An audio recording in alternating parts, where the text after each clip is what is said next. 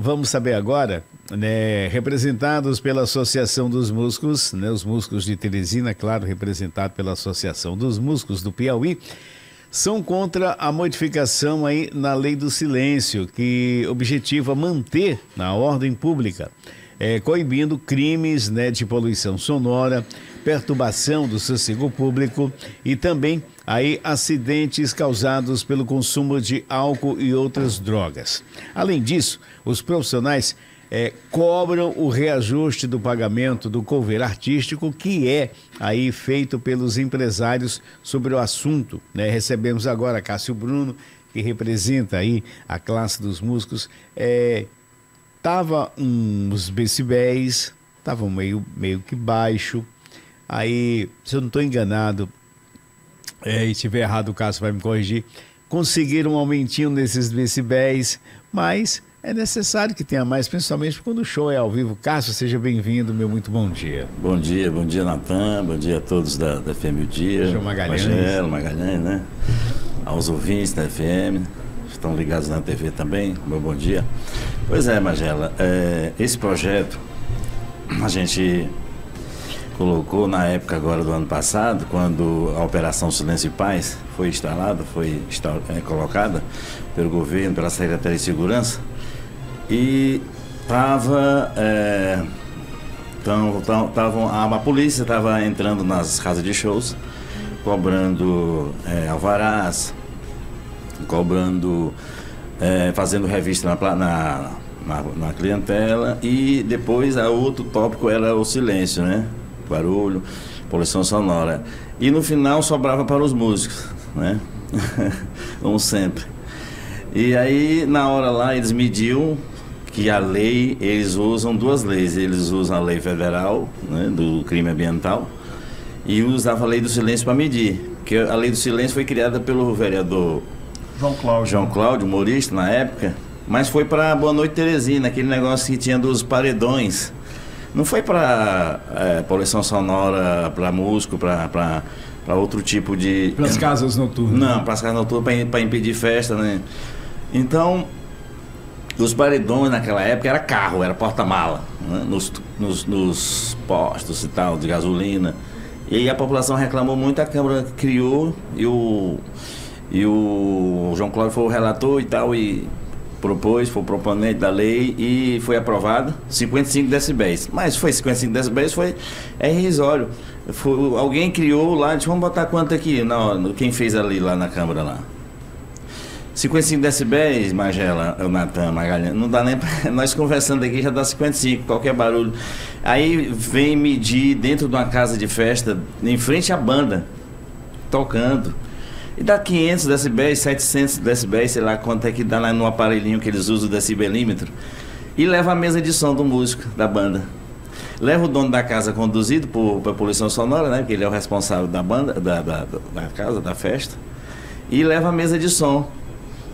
Que na lei federal diz que da poluição sonora, se você tiver um cachorro que late a noite toda, tiver uma metalúrgica do seu lado, o vizinho reclamar, denunciar, eles levam a, a máquina de solda, eles levam, se tiver uma arara que grita a noite toda, eles levam o animal. Enfim, eles têm que levar o objeto, o emissor do, do, do barulho. Eles têm que ir em casa, só tem cinco cachorros lá. Ei, mas, mas, aí, mas aí leva a mesa, aí, bom, sobra para a banda. A banda, o, o dono da casa eh, não perde nada, entre aspas, mas o músico Amanhã na casa de show tem outra banda. Mas um músico que é penalizado dentro da casa de shows leva a mesa dele e ele não trabalha mais durante um ano. Mas uma das coisas que o músico acha injusto é porque é o seguinte, não é para chegar com o, não sei o nome do aparelho decibelímetro lá, decibelímetro. Ali na frente da banda. É. porque o reclamante ele mora a uma quadra. Justamente então, nós... tem, então, ele tem, então ele tem que medir lá de fora. Foi por isso que nós colocamos quando o vereador Capitão Roberval quando eu fiz a audiência com o secretário de segurança para a gente resolver que os músicos vieram em cima de mim cobrando, rapaz, a gente precisa trabalhar e a polícia está toda noite circulando e tomando mesa de som e levando gente presa, músicos presos. Faz alguma coisa, reage, rapaz. Aí eu fui e marquei audiência com o secretário e na audiência levamos os músicos lá e, e falamos para ele, nós que a gente precisava trabalhar em paz e tal. Qual seria a solução então? Eles que a operação ia seguir estava só cumprindo a lei do silêncio, a lei, a lei e estava respeitando a denúncia da população. Mas na realidade, a denúncia, não se sabe se é denúncia. Eles dizem que é denúncia, né? Mas a operação era formada no, com vários tópicos, né? Que era, era documentação, saída de emergência, corpo de bombeiro, vai uma viatura, vai uma comissão, uma comitiva de, de, de viatura. Enfim, ele disse que era para eu procurar, resumindo aqui, ele falou que era para eu procurar. A solução era mudar os decibéis. Que a lei do silêncio que o João Cláudio criou só são 55 decibéis. Na época, né? Há, há 26 anos atrás, é, não existe isso para banda. Como é que eu vou tocar? é, com um som, com tudo, uma banda completa, por vir com 55 decibéis, não dá nem para fazer voz de violão. Aí ele disse, pô, bicho, vai uma solução aí tu procurar e mudar a lei, muda, muda, aumenta os decibéis aí para quantos vocês quiserem. Eu tô aqui para cumprir a lei. A operação vai seguir, tá dando resultado, a população tá achando muito bom. E aí se você conseguir mudar na Câmara, que só quem pode é a Câmara. Você procura um vereador e ele propõe lá a lei, aí assim nós fizemos como eu tenho muito, eu trabalho já com o vereador Roberto Valqueiroz, capitão, há muito tempo, aí eu falei para ele, não, vamos fazer agora mesmo. Chamou, é, chamou o pessoal do gabinete, o pessoal do. É, editamos para 80 decibéis. Uhum. Que é, nós pedimos 150. E aí o Chico Lucas deu uma entrevista dizendo que era um absurdo a associação pedir 55 decibéis, 55 já, já fez a mídia toda.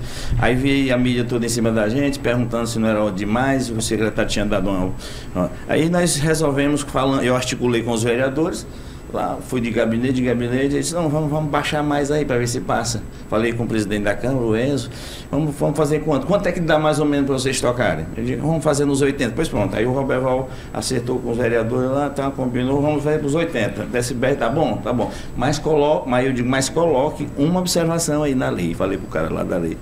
De onde partiu a denúncia? A medição. Uhum. Que foi o, a, o diferencial da, da reforma da lei, da edição, foi que nós colocamos na lei que o, o policial não vai mais dentro da casa de show, em frente à, à banda ou em cima do palco, com o aparelhinho lá, medindo mais não. Ele, ah, deu 500, tenente, coronel, deu tenente. 300. Aí estoura, né, o aparelho. Aí, aí leva, pronto, leva a banda, leva, leva a mesa de som, eu fico sem trabalhar. Eu vai, entro com um processo contra mim, que eu sou dono da banda, população sonora, não sei o que, minha mesa fica lá um ano, até o juiz decidir o que, que vai fazer e tal, tal, corre o processo normal e eu como é que eu vou tocar amanhã?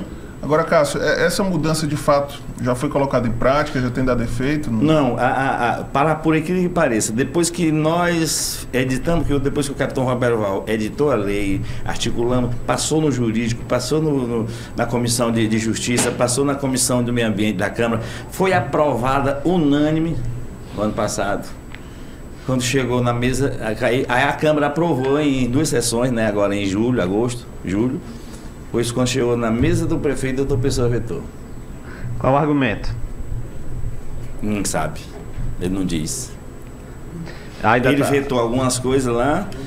Né? Esse veto dele já foi apreciado na Câmara? Já foi apreciado e, do, e, e, e o, o, o, o, cara me disse, Cássio, leia é o seguinte, se tu não acompanhar, se tu não tá lá se o, vereador. De repente ele não sabe nem o que assinou. Pois é, o vereador não acompanhou, se acomodou, achou que o doutor Pessoa era da base, ele era da base, o doutor Pessoa era amigo, e que estava tudo certo, que o doutor Pessoa ia saber. Quando chegou, de repente, quando o assessor do, do Roberto Valmir disse: Tu sabia que o doutor Pessoa vetou a lei, a tua lei? disse, não, não existe isso. Vetou, vetou hoje de manhã.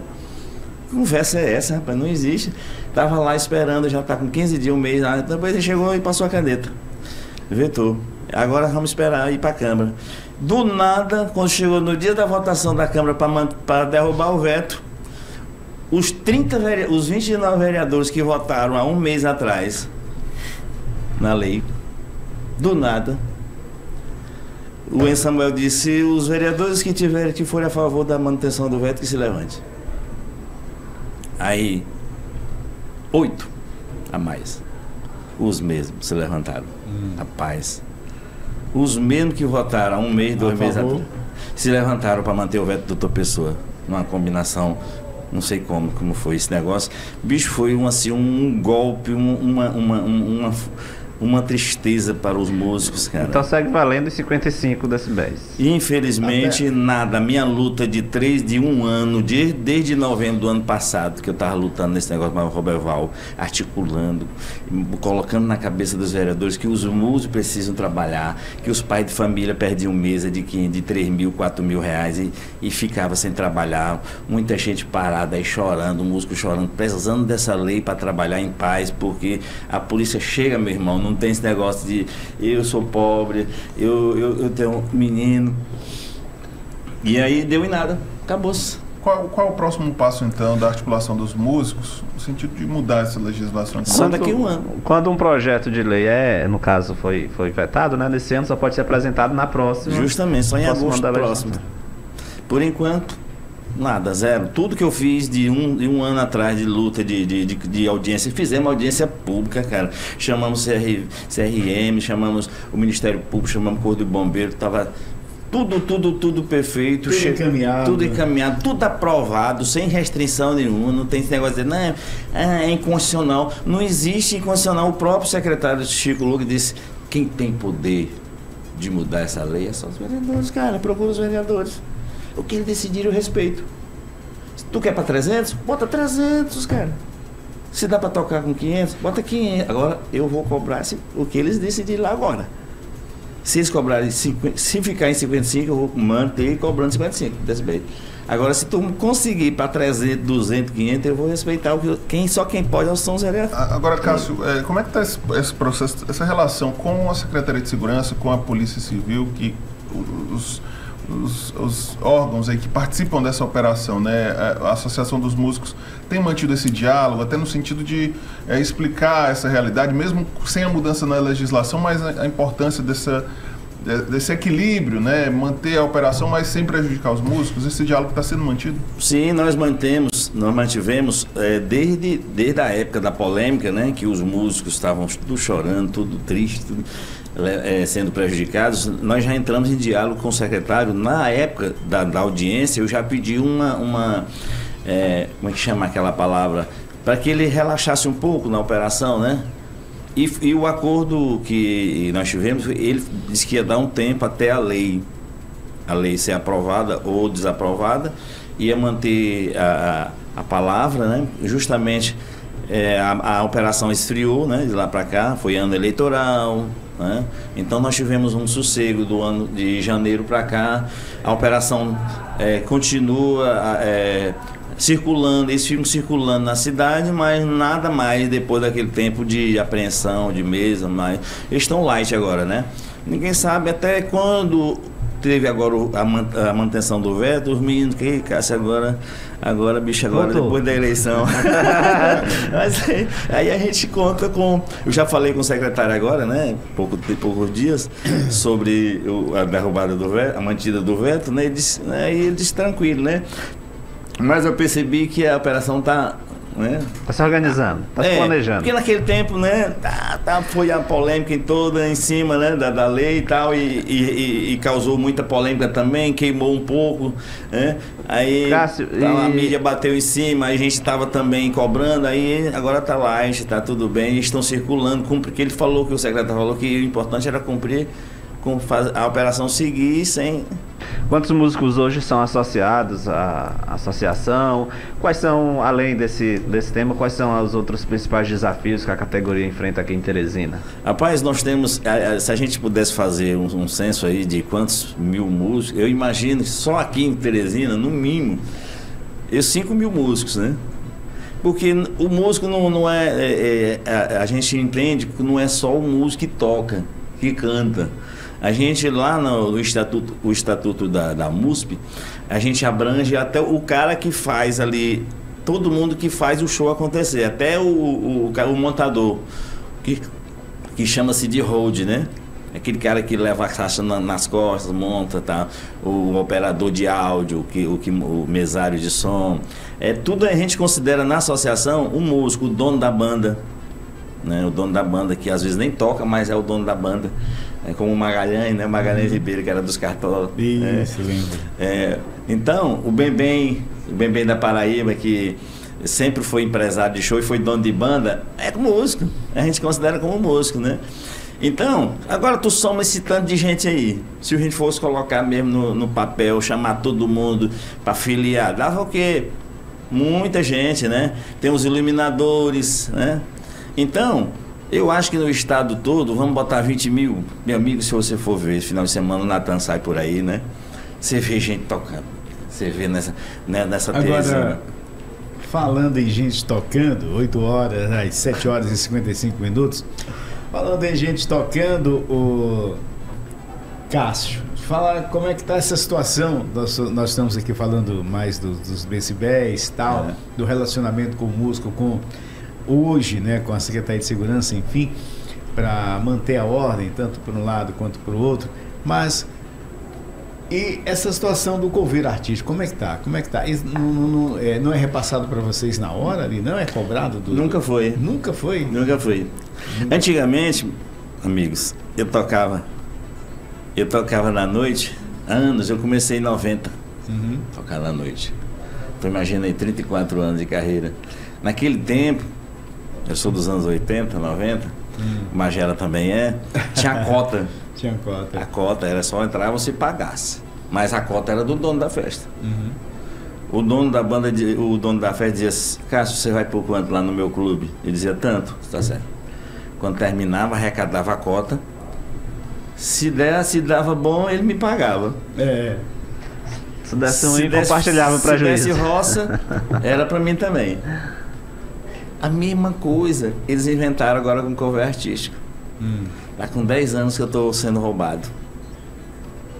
O cara me chama para cantar lá e diz, ó, Cássio, é o seguinte, aqui eu não, não. Tem casa de show que nem fazia festa. Se meteu agora a fazer. É. Tem aqueles tradicionais que faziam festa todo dia, toda semana. Beleza. Aí criaram o cover artístico, né? O que é o cover artístico? É um pagamento que ele bota para o cliente. Quem paga é o cliente, a conta vem para o cliente, não é o dono que paga da banda, do dono do restaurante. Então, quando eles criaram isso, pegou mania agora, moda. Então, eles, eles não querem mais pagar do bom. Antigamente, eu ia cama, tocando no Camarão do Elias, Beliscão, as casas de shows aqui, os bingos dançantes que tinha, né? Uhum. Era tudo era com dinheiro da arrecadado do, do, do bingo, o lucro da bebida. Cássio, canta mais um pouquinho aí, que agora que eu vendi 10 caixas de cerveja. Quer dizer, era para ver se me pagava com o lucro da cerveja. Ah, vou vender mais um salgadinho, mais uma carne de sol ali e tal, para ver se eu pago a banda. Eles, eles se viraram, só fazia festa quem tinha condição de fazer, quem tinha público, quem tinha clientela. É verdade. Hoje em dia o cara bota uma churrascaria em qualquer lugar, aí, aí não quer fazer música ao vivo porque não, que não quer pagar, mas alguém diz, rapaz, bota aí, bota convertir, porque o povo, a clientela que paga. Aí eu vou lá procurar uma data para mim, né? Vejo um restaurante bacana. Amigos, tá, passou o Cássio Bruno, tá aqui meu cartão. Uh, você faz música ao vivo aqui? Eu disse, não, Cássio, eu não faço não. Por enquanto eu não comecei a fazer não. Tô com mais de ano, dois anos, tal, mas digo, eu, eu toco também pelo cover artístico. Ah, é? Pois se você quiser, o que fizer aqui é seu. Tá bom? Eu, eu não tenho condição de lhe pagar. Você é famoso aí, eu já lhe vi na TV, não sei o quê, mas eu não tenho condição de lhe pagar. Não. Agora, se você quiser trazer sua bandinha pra casa, aí eu, e você, se eu fizer 100, 200, 300, 500, é seu. Eu digo, tá bom. Aí eu ligo com meu, meus fãs, meus amigos, rapaz, eu tô lá sábado lá, na churrascaria tal, tal, tal, rapaz, vou lá, tal. Aí na primeira aí, aí, aí, quando dá aquela arrecadada é, não, no canal não, é assim. Não, aí na primeira vez dá 200, dá 200, uhum. né? Começou o primeiro dia, primeira noite, 200. Cássio, o seguinte, psh, final da noite, acerta lá no computador lá. Cássio, rapaz, ó, o pessoal deu 200 reais. E aí? Isso, me dá aí o jeito. Fazer o quê, né? A próxima já melhora, né? É, sábado. Tá bom. Aí no sábado eu tô lá, de novo. Fazendo o Reginaldo Rossi, bicho. Olha, bicho, cadê as mulheres gostosas do Brasil, bicho? Aí que então Opa, já melhorou. Não, deu, deu, deu 350, né? Cássio, melhorou. Deu 350. Tá bom? Como é que eu vou pagar o menino de novo? Pagar no meu bolso, meu tecladista. É, pô, mas vai melhorar. Não deu 200? Na outra, mil. No outro sábado. Aí ele olha. Antes de eu chegar, né? Eu tô desmontando ali a banda. Lá vem o Cássio. Ixi, deu mil reais. Pai, não vou dar esses mil pra ele, não. deu mil conta, pai. Eita. Chega, e aí? Tudo beleza? Beleza, já vou indo. Beleza. Cara, é o seguinte, deu fraco hoje, cara. Fraco, fraco. De novo. Digo, mas deu muita gente. Pois é, mas pediram pra tirar. Entendeu? Pediram pra tirar. Muita gente não quis pagar, se zangou aí, disse que não pagava a banda, não pagava não. Aí só deu 350 de novo. Entendeu? Então, anos que eu tô tocando assim. Anos. Tem lugar que dá 8 mil, 10 mil, 15 mil por noite.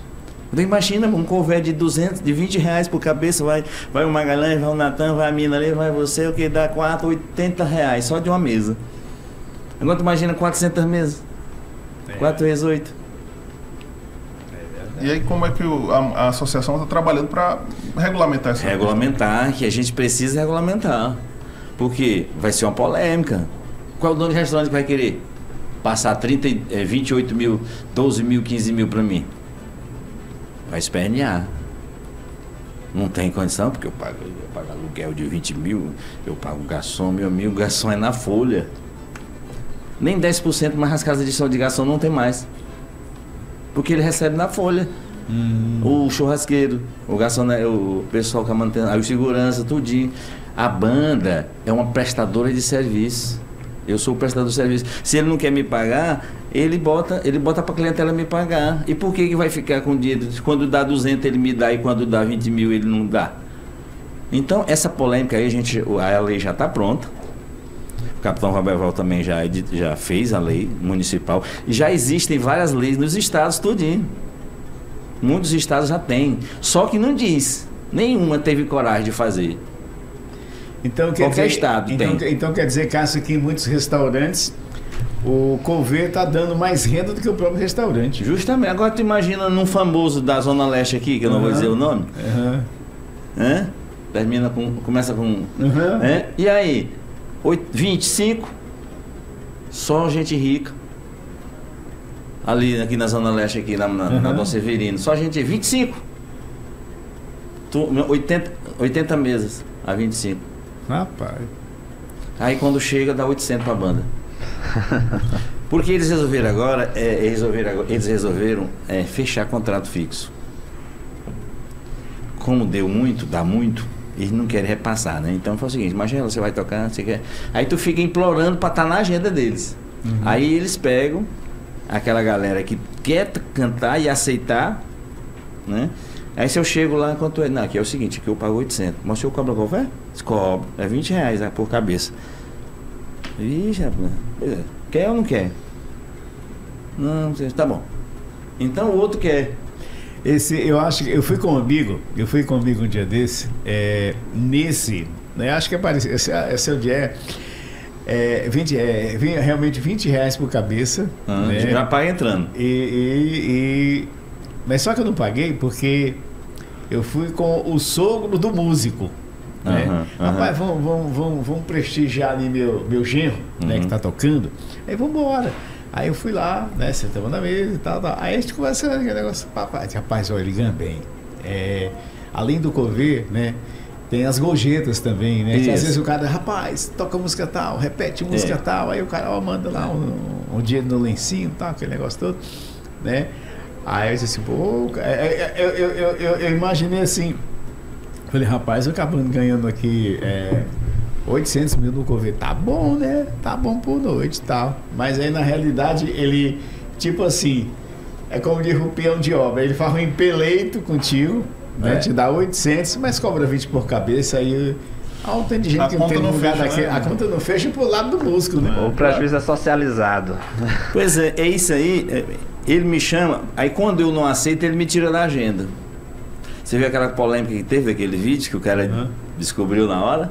Eu vim aqui para dizer que, entendeu? É aquele vídeo, viu, Natan? Aquele lá, que, que viralizou, que até a empresa lá processou ele, está processando ele, Aham. a empresa lá está processando. Então, o problema, Magela, é que eles, eles chamam as bandas que querem e dizem, que é o seguinte, você vai ficar sempre aqui. Você vai ficar. Por isso, quando eu chego lá, que eu dou meu cartão, me apresento, eu lhe conheço, beleza. E eu penso que eu vou ser contratado na mesma hora, porque ele me conhece, já conhece meu trabalho, que eu faço o melhor do Brega, o melhor da Seresta, o melhor do, do jogo da, da das Antigas. eu conheço você e tal, tal, vou, vou ficar com o seu cartão. Eu vou ficar com o seu cartão, vou passar por. Ele nunca disse que são eles que botam as bandas. Ele disse, vou passar para uma pessoa que. Website, website, sabe? Os caras que trabalham com mídia. Eles vão analisar e tal, vão ligar. Mas nunca, por quê? Porque ele já tem aquela patota lá que aceita os 400, os 800 Enquanto. E chora para ganhar esses 400. E chora, pois é. Aí a polêmica é essa, mas rapaz, mas eu preciso. Olha, o problema da desorganização é, é a desunião. É a desunião. É a desunião, né? Uhum. Porque o Cássio, eu preciso. Eu preciso, o que eu preciso, fica, fica refém. O cara fica refém da casa de show. E o cara só disse, eu só dou tanto aqui. Tem cara que paga 300 reais, mas. Rapaz. 300 reais e a, e a fila é grande. Tu chega lá, o cara ainda tira onda, ele tira, cara, isso aqui só tem vaga para é, fevereiro do ano que vem. Você quer? Quanto é que você faz aí? Aqui é 300. Rapaz, 300, o que que tu faz, bicho? Tô pra passar 3 horas, 4 horas tocando forró de pau enficado por, por 300 reais, enquanto o cara tá ganhando um cover de Dá 20. Pra passar ali na frente do mercado. Hum, é só ilusão, cara. Então, é. gente, a gente precisa regulamentar isso aí. Vai dar polêmica, vai. É, é um, é um projeto muito polêmico, muito complicado. Mas já está no ponto, já foi aprovado pela Câmara, já, já, já foi. Já passou nas comissões do dia lá na Câmara. Tá, tá, vai só, vai, vai já vai para o plenário essa semana, talvez. Hoje eu vou conversar com o capitão Roberval, amanhã, e para ver se dá para a gente colocar ainda essa semana em, em votação lá. É municipal, né? Porque em todos os, os governos estaduais eles nunca dizem. Eles só falam assim, o que, que a lei lá permite lá. O que fizeram? O Mar de Menezes foi que fez a estadual, aqui em Teresina. Né? Então, em todos os estados diz que o, o, tem, o menu tem que colocar no menu que cobra cover, tem que colocar uma placa na frente e tem que colocar no, no cardápio também. Só isso, mas não disse que para quem vai o cover. A destinação. E, a destinação, que a gente tem que resolver isso aí. É mais uma luta da, da associação. Nós estamos, nós estamos eh, encabeçando essa bandeira aí para ver que o, o, a lei do silêncio não deu por enquanto. Uhum. Né? Tem que aguardar o ano que vem. É, vamos aguardar o ano que vem. Pois é. agora é. esse outro agora que a gente está encabeçando. Né? O ano que vem nós vamos entrar com a Bolsa Artista. Pois é, na. na, na, na é gente... a Bolsa Bem Bem para a gente finalizar, eu imaginava, eu tinha na minha, na minha, na minha ideia que, é, que o cover ele era para pagar né, o músico, que ele era destinado. Na realidade, na minha ideia é, era assim, que ele era destinado para pagar, que não saía nem do. não saía nem do do, do, bolso do restaurante e nem do bar, né? Que no caso uhum. seria da bebida. É. Mas é. ele era rachado entre o dono do bar, né? Que é o dono da uhum. casa, né? O dono do bar e você, digamos. Uhum. Eu pensei que era rachado entre os dois. Não. Mas nem isso, nem isso. É, o cara é, é empeleitado, é, ó, eu pago tanto. É contrato fechado. Contrato Só que fechado. não assina o contrato. Uhum. Como é que eu fecho o contrato contigo e não assino? Não me responsabilizo por qualquer coisa que acontecer. Outra coisa, esses caras não querem dar nem água, rapaz. Pois não é. O músico. Se, se, o cara quebrar um, um, casco de cerveja, eles querem cobrar. Se o cara quebrar uma taça, quebra, entendeu? Na hora não tem um lanche, não, nada que não tem direito de dar lanche, nada. Eu já, já, já, já cantei em restaurante que não bebi nem não comi nada. Se comer, paga. né? É, então, acaba ganhando 20 mil no Covid. 20 mil. 20 mil e a gente passando necessidade, né? Com a banda para tocar. E quando não dá, aí não quer pagar. O problema que eu vejo, é porque a casa é minha, é porque a clientela é minha, não sei o quê. Mas quando não dá, bicho, tu não me paga. É verdade. Quando não dá ninguém. O problema, o erro foi de lá. Uhum. Lá do início. Lá do início. Porque quando eles começaram isso aí, eles diziam pra gente. Ah, o cara fala, ah, mas hoje ninguém disse que é, que é da banda. Qual é o restaurante que disse que é da banda? Ah, mas diziam. Na é. época, quando me chamavam, quando não tinha clientela, eles diziam: o caixa aqui é seu, o que der é seu. Eu não vou pagar. Mas se você quiser tocar aqui, o que der é seu. Naquele tempo, agora, como eles têm garantia que a clientela é boa, é boa. É, já tem é, aquele restaurante famoso que tanto faz ter música ao vivo como não. Então eles se sentem, eu vou pagar o que eu quero. Se ele não quiser, ele não faz música ao vivo. Então a gente vai ter que regulamentar, só vai pagar outra coisa. Muitos caras vão tirar o cover artístico se for se a lei passar. É verdade. É que, é que, qual é o dono que vai pagar 20 mil pro Cássio? É. 8 mil toda noite. Eu vou estar de carro novo no outro ano. Eita, conversamos aqui com o Cássio Bruno, que é representante aí dos músicos. Cássio, foi um prazer, prazer. É, receber você aqui. Esperamos contar com você outras vezes para trazer novidades a respeito dessas leis. Tem muita lei para fazer, né? Que eu quero, eu quero entrar aí em, em, em parceria com a prefeitura, com a, com a Monsenhor Chaves, com a Secult, né? A associação está lutando, bicho mais já tá bravo. Uhum. A bolha tá, a bolha tá pesada, viu?